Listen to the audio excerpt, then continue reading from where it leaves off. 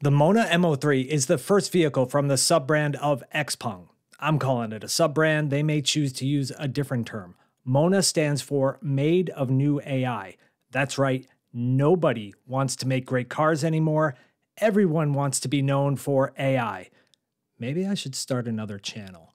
Going beyond the marketing, Mona's origins go back to Didi, the Chinese ride sharing business who began work on a smart EV program called DaVinci. That's a cool name, but they wanted to exit that project and focus on their core business.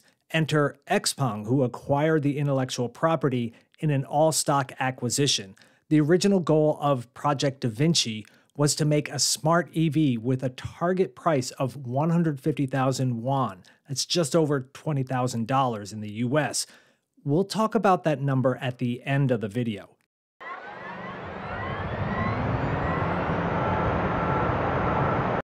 Mona MO3 has a sporty sedan shape, but the rear opens like a hatch for more cargo utility. This is a China market EV, for now, with a lot of competition. Size wise, it's basically the same as the Tesla Model 3, but significantly smaller than the Xiaomi SU7. Xpeng said the car underwent extensive wind tunnel testing to get a drag coefficient of 0.194, making it more aerodynamic. Oh, come on it's 0.001 better than the SU7. Fine. But you do see some interesting details in the design to achieve that. Up front, it has active grille shutters to close out the openings when not needed. At the rear, there are fins at the bottom of each C pillar to help with aero. Xpeng said the extensive wind tunnel testing added 60 kilometers to the range of the vehicle. Mona will be sold in the same showroom as Xpeng vehicles with their robot face, so it has a unique design language that will help it to stand out. Overall, I like the front, not so much the rear.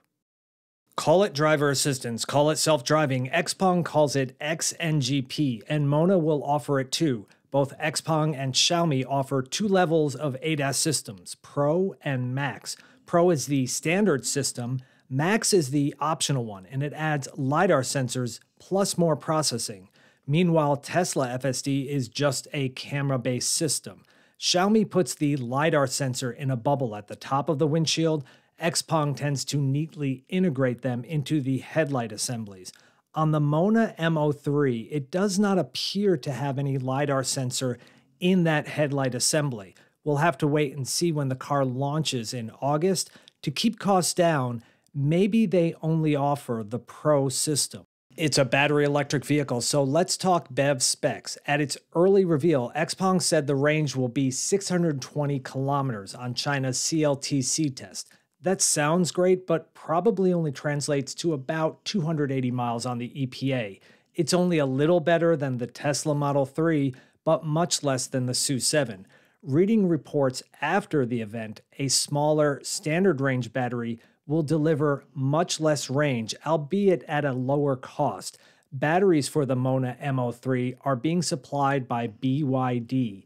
CALB is Xpeng's largest battery supplier, but not for this one. Energy gets delivered to a single motor, but there are two options, neither of which are as powerful as the single motor versions of the Model 3 or SU7.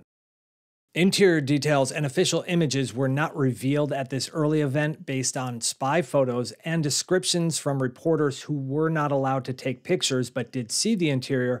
Expect a two spoke steering wheel and one large central landscape display in the middle, not unlike other Xpeng vehicle. Xpeng has been putting a lot of effort into its personal assistant technology, you know, AI, expect this to play a major role in the launch of this EV. But nothing compares to the starting price. He Xiaopeng told us what the price will be below 200,000 RMB, below 27,500 US dollars. Not that it's going to be sold here. Compared to Tesla and Xiaomi, that's not a great deal for a car with less power and less range, which takes us back to the DaVinci project from Didi, reports were that they had a target of 150,000, which is below 200,000, way below. It appears that we're getting set up. they're not lying to us. They're just understating the truth.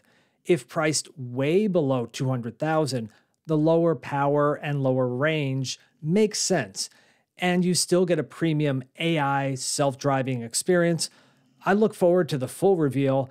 As for exports, Xpeng got hit with a stiff tariff increase by the EU, but it's not terrible. Xpeng doesn't sell in North America and unlikely to do so anytime soon. I hope you enjoyed this early look at what we know of the Mona MO3. Thank you for watching.